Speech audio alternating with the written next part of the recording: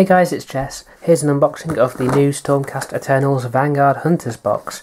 This is a nice little box. It's got 10 guys in there, which can build one or two units, uh, either two units of 5 or one unit of 10, of the new Stormcast Eternals Vanguard Hunters. So you can see from the back of the box, these guys have got bolt pistols and axes or swords, and you've also got one of the first Stormcast Eternals unhelmeted heads in this kit, which is really nice. Um, these guys are a lot more kind of feral looking than your previous Stormcasts. They've got fur cloaks and all sorts, in kind of a big FU to Petter or Peter or who does anyone really know if it's Petter or Peter? No one really knows. I think, to be honest, they don't know either because, well, let's not get into it. But let's have a little look at this kit. So as you can see, this was £30 at my local, but if you go to GW or go online at GW's website, it'll be £37.50. Um, so it's still not a bad value kit, but obviously if you go to your independent stores, you do get that slightly, slightly better value for money. So what again, what you'll find in this kit is there's duplicate sprues. So there'll be two different sprues, I believe, of which there's two of each. So tip that out. I wouldn't be surprised if this was originally intended to have been um, a box of five and they changed their mind near the end. um, so you get two sheets of the Stormcast Eternals transfers, two packs of five 40mm bases, and here's the instructions. So that's you can see a bit of a painting guide on the back for the regular colour scheme there. There's a lovely piece of artwork there, which is kind of what you've seen in the Codex uh, slash Battletome. And there's your instruction booklet, which gives you all the guide you need to assembling these traps. So it looks like there's plenty of kind of options with these. Um, quite a lot of room for conversions and kit bashes, I would assume, as well, actually. Um, quite in-depth instructions and there's their war scroll as well so you can kind of get an idea of what they can do in the game. They can pump out a few shots, they don't really have any rend or massive damage but they can kind of, I think these guys can run and shoot in the same turn which is pretty beastly. Um, and then yep we've got duplicate sprues so let's just move the spare ones over to the side and we'll focus on these. So here's the first one, let's just boom, boom, boom, there we go. So what do we see? What do we see? Put my glasses on.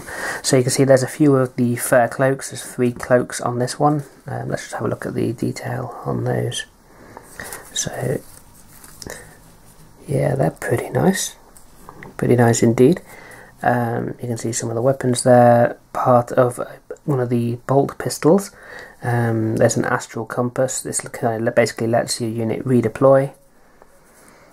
Um, there you go. So there's your unit commander shoulder pad, the kind of prime of the unit, I guess.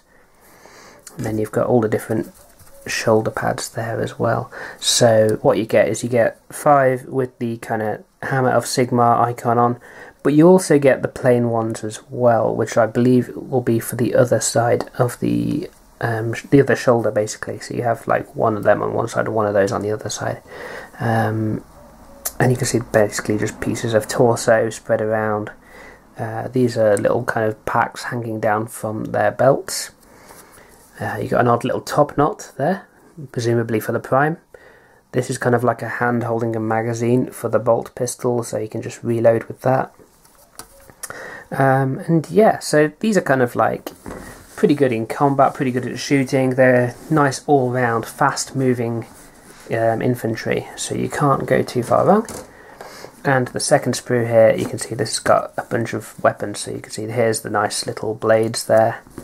You've got a couple more of the fur cloaks, um, a few accessories there, so there's like a rope, um, a few more kind of interesting packs there, some more top knots, so I guess the top knots are either optional or just part of the helmet that you glue on afterwards probably the latter mm. there.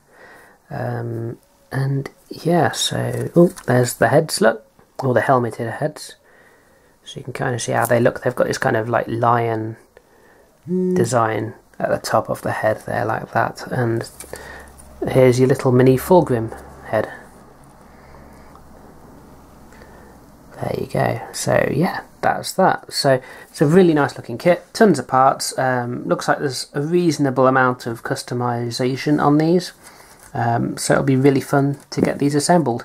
Personally, I'm thinking of doing them, building it as two units of five because it's always nice to have multiple small units. I think, um, but that's just me. Um, post down below what you think. Would would you, if you had these, do it as two small units or one larger unit? Um, either way, the points cost would be the same overall. And I think if you've got a Lord Aquilor as your general, I think these guys can become battle line, but it wouldn't tell you in there. It would only tell you in the battle tome. Um, but yeah, yeah, pretty cool. Um, thanks for watching. Hope you enjoyed this little unboxing, and I'll be back soon with even more videos. Yeah!